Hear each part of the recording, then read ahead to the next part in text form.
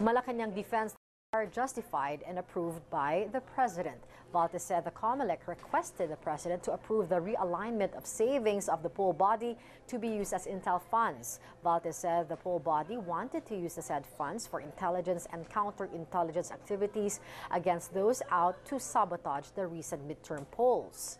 Former, former COMELEC Commissioner Gus Lagman claims he was given 1.25 million pesos in intelligence funds in 2011 and made to sign a bogus liquidation report in 2012. Lagman adds he left the money untouched. Speaking to ANC, COMELEC Chairman Sixto Brillantes said Lagman was obligated to return the money and believes he would have kept it had he been reappointed to the poll body.